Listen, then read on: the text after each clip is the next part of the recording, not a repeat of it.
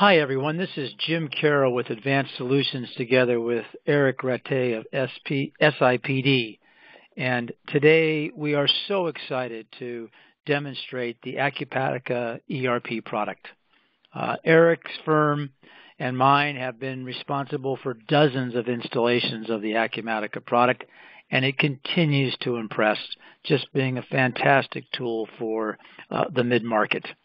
Uh, today we're going to kick off our Day in the Life series in terms of how a user interacts with the Acumatica product. And our focus today is going to be on platform. Now, three things about Acumatica that we'll reinforce uh, during the presentation. One, it's millennial friendly and feature rich. Two, it's like having an automated 7 by 24 employee behind the scenes doing all sorts of rote activities. So Acumatica provides a tremendous return on your investment. And three, a modern platform, Acumatica fully takes advantage of the Internet of Things. And with the newer project or newer programs and releases, we now have implemented artificial intelligence into the Acumatica offering, making it an even more exciting product with better return for our customers. So Eric, let's start off. And uh, today Eric's going to be a, a, customer service uh, representative at Acumatica, and I'm going to be a customer who's going to call in and ask for some help. And so ring, ring, ring. Hey, Eric, this is Jim. How you doing? Very fine, very fine. What about yourself? All right. I'm fantastic, please, and uh, we're looking at uh, maybe doing a little bit more business. So could you uh, please look up our account? And yeah. I happen to be with yep the U.S. Bartending School. So I'm searching with the search bar. I'm searching for the the name school, and it, as in Google, it highlights the school regardless if it's uh, the middle of the name. So I will select. I could have searched by phone number or any other criteria that I want. So, and you can add your own criteria. So I'm selecting USA Bartending School. And you will notice that all the dashboards will be refreshed according to the new, um, this new, the customer that I selected. So, so if I understand correctly, you've gone from a dashboard of all customers to the same dashboard, but now it's filtered to specifically the bartending school. Yes, and when you say bartending uh, all the customers, uh, I just want to point out that you can restrict the access to certain people within your organization to have only access to certain customers. So if you Fantastic. have person in charge of territories, then they will have access only to their customers should you want to. Right. Same with like Acumatica Acumatica's a multi-company, so I could have company one and company two, person A, person B with company one, two, etc. Correct?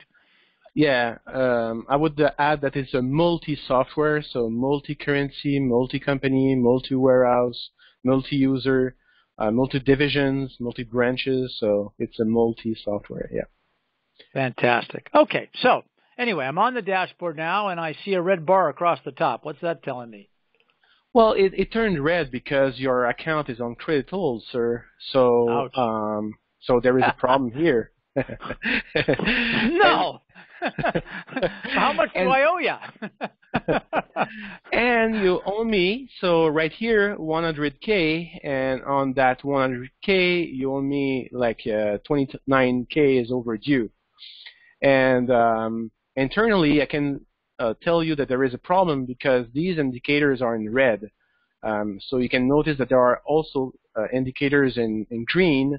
So my point is that um, indicators can turn from green to yellow to red or vice versa, depending on the criteria that you set within the system. Acumatica comes with a large range out-of-the-box dashboards that you can uh, personalize without having to code anything.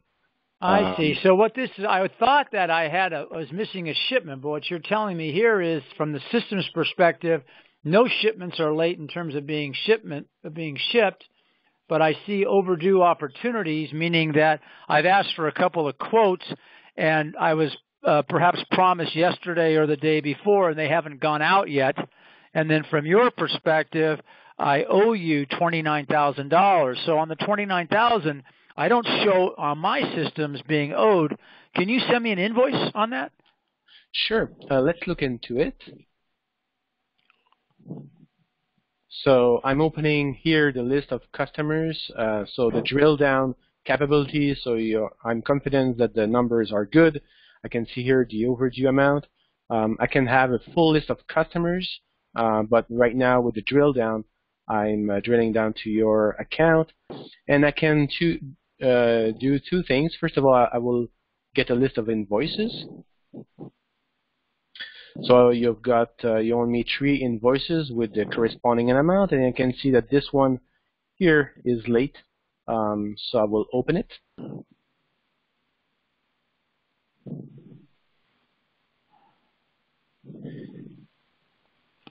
And uh, 29k, and maybe you're you didn't pay me because I'm very sorry, sir. Um, I can see here that uh, there is no activity, meaning that uh, I didn't send you the invoice by email, so I will do it right I now. I knew it. you knew you were right, right? well, we like to pay our bills. Right.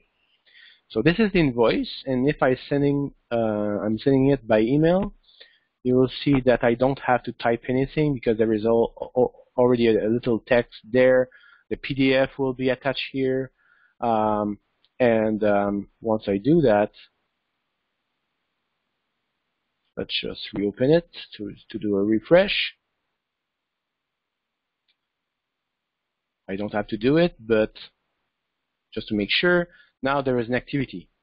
Um, so meaning that I can go back and see the email that I just sent you uh, with the statistics about when it has been sent and all that good stuff. Um, do you know, uh, are you able to tell me when you will pay me? You know, I'm going to jump on this right away. You're a, a great supplier, and I'll call up my A uh, P group and have them get the check out tomorrow. Good. So I should receive it by the end of the week. So what I'll do, I'll just create a task to remind myself if I don't receive it by the end of the week.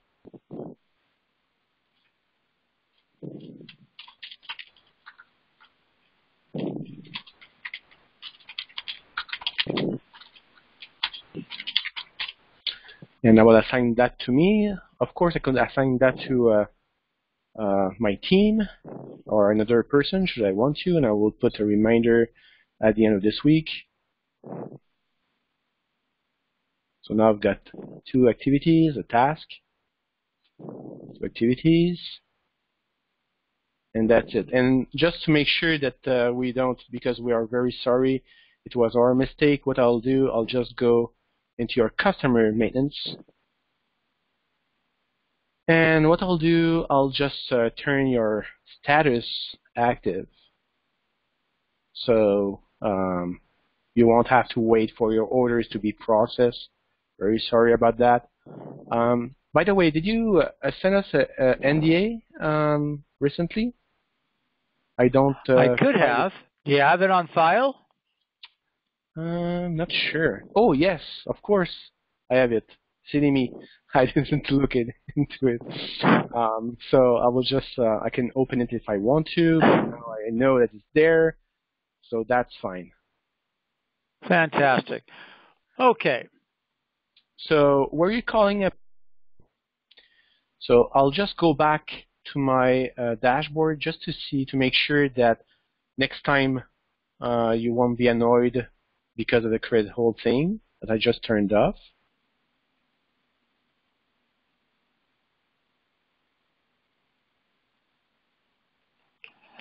And I noticed that the red bar is no longer there because real time you updated. Perfect. Thank you very much, Eric. Now, hey, the reason I called was that uh, I lost my password, surprise, surprise, to my portal. Can you help me with that? Sure. Um, so you sent me an email, right? Yes, yes, I did. Okay. So what I'll do, I'll just do a search in my system. Oh, so the cool. email, when you send me an email, um, automatically yep. um, the system creates a case, a ticket in my system. So I will just open it.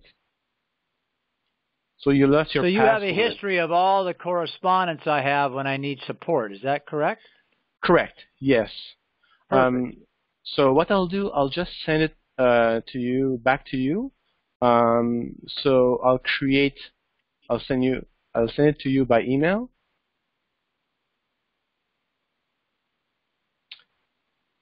And what I'll do,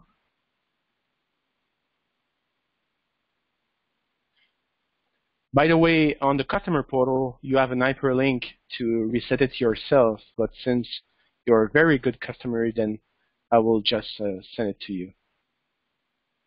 Good enough. So here we have all sorts of templates of different email types that I might want to use to interact with a customer. In this case, it was for a password to my portal.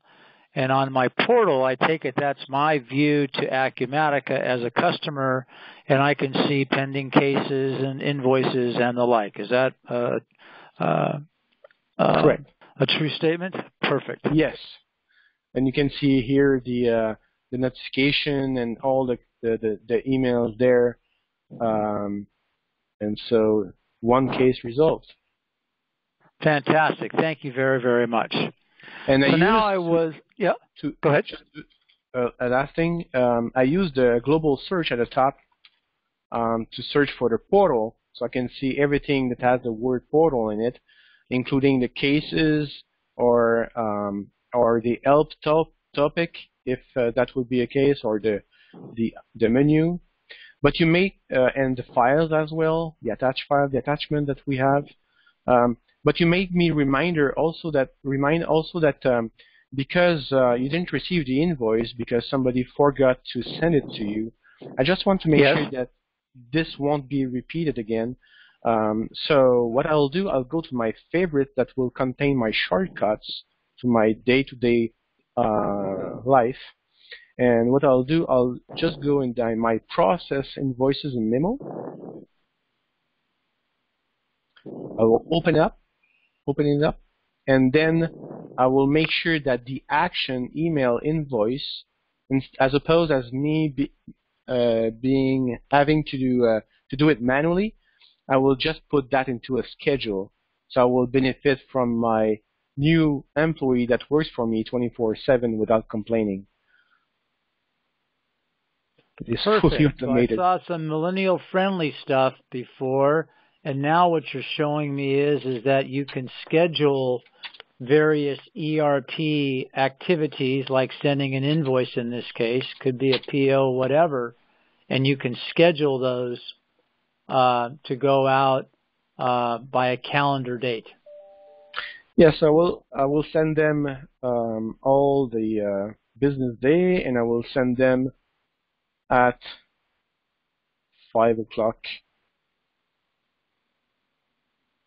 So it will the So system all all the invoices that have not been already sent by email, they will send it automatically uh, for me.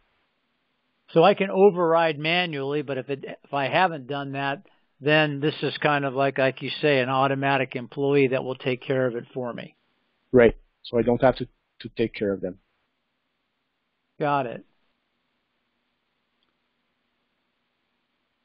You know, if I'm on the road a lot and I need to know if something's overdue, would I get an email too or something like that? Would I get a notification like that instead of a transaction being sent? Do I also get these types of notifications? Yes, you will get uh, these kinds of notification. In addition to uh, the software, um, and by the way, you don't have nothing to install uh, on any user desktop. Um, you just need Yeah. an internet browser to use Acumatica. But um, there is also a mobile app um, that uh, employees can use uh, to approve things or to look at dashboards the same fashion as we uh, we are doing now and we'll show you that to you uh, in the next uh, uh, the Acumatica day in a life series. I get it. So like I see, okay. So last question I had here is I was looking at my order history Mhm. and I was hoping that we could review things because I'm looking at perhaps uh, uh, uh, making some additional purchases of other items. So can you take a look at uh, uh, my order history, please, or Sure. the items? Oh, All right. So the the items I've got them here. Um, so I know that you you ordered uh, um, like uh, a couple of uh, of Coca-Cola cans. Um, so 59 of them. This is 28% of your um, of your purchases, and I can see that the order trend in the last couple of months is pretty stable. Um, Okay. should you want a report um, of uh, what you purchased, the items that you purchased? I was just hoping to take a look at a list of the items themselves. Oh, a list of the items themselves. Yes, sure. Yeah. So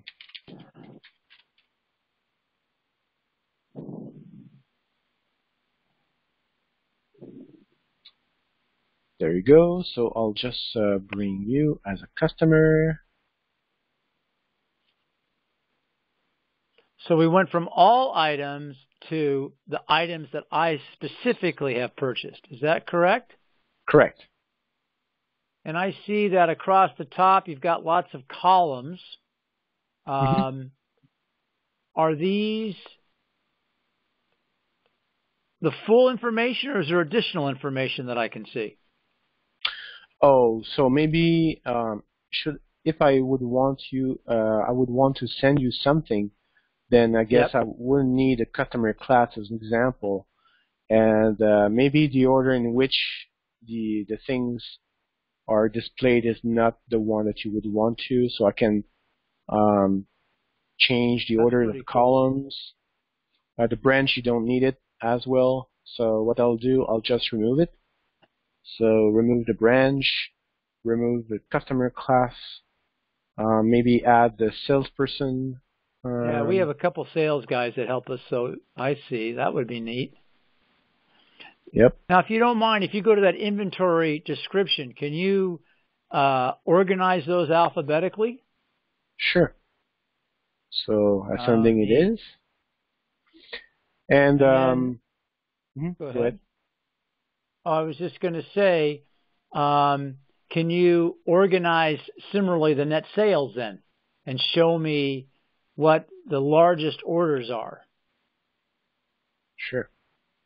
Wow. Oh, and this goes to three pages long, I see. Yep. So if I wanted to generate this in a report, could I output this to Excel? Mhm. How would I do that? So what I'll do, um, if you would want to have the, the sales per item per month, I can do Yeah. that very quickly. Um,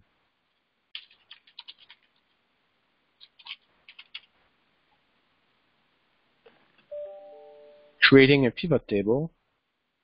So I'll put the inventory description as rows.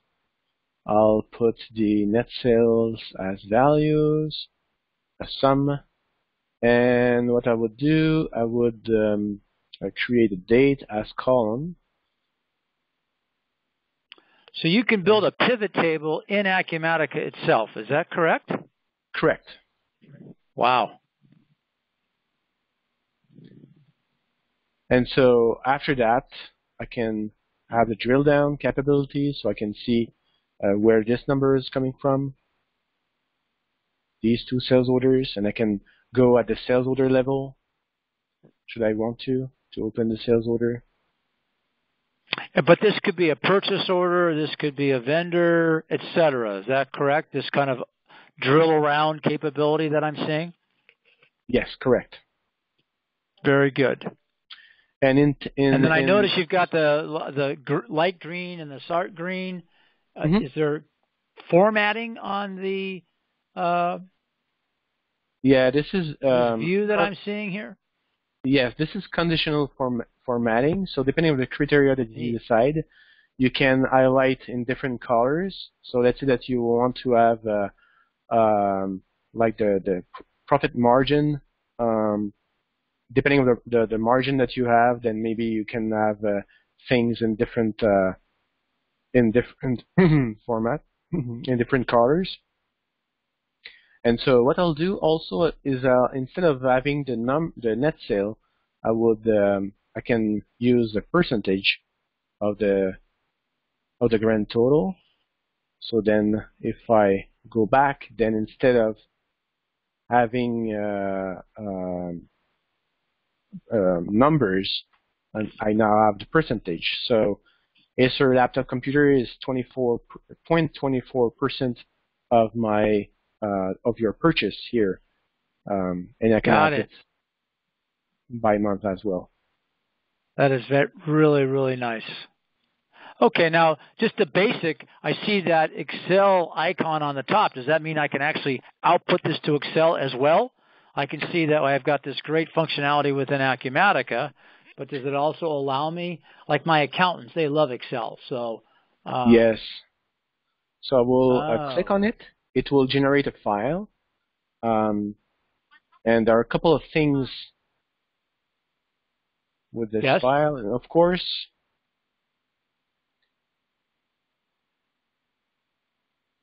so my Excel is in French, but it, it still works in English if you're using Excel yeah. in English. Um, so, and, and the good thing about Acumatica is that the numbers are, are real numbers. What I mean by that is that you don't have to um, remove the titles or anything. So if you want to do a sum, yeah, um, cool. this is very, very easy to do. Um, the other thing also is that uh, if you go to data and then you refresh all, uh, the system will yep. connect to Acumatica and will refresh the data um, uh, with the new values that you entered in Acumatica. So, so I can if you, save this as an example and then just go from Excel and get the information. Correct. And you can even uh, take the Excel uh, information that is in Excel and upload new data in Acumatica. Fantastic. Wow. Eric, this has been most, most helpful. Um, I can really see how there's lots of millennial friendly features throughout Acumatica. I think uh, uh, I can see it's rich within this one area, but I'm sure it's expansive overall and integration with Excel at least in terms of the IoT. But I think uh, moving out of character, these are things that will reinforce in additional uh, day in the life type series on the Acumatica product. So in closing, thank you very much for your participation. Anything else, Eric, on your end that you'd like to show or say? No. Uh, thank you very much. And yeah, and just real quick, how long did it take you to build this dashboard? I mean, is this like a two-hour job, a three-hour job, a ten-minute job to build a widget like this? No, just it's off the top it's uh, already included. So there are a lot of dashboards already included, and oh uh, and so we don't have and to worry about it. it. easy. All right, I'll yeah. tell you what, we'll do a video on that at a later date. Thank you so much, and thank you for uh, uh, looking at our Day in the Life series in terms of some of the features, friendliness features of the Acumatica product.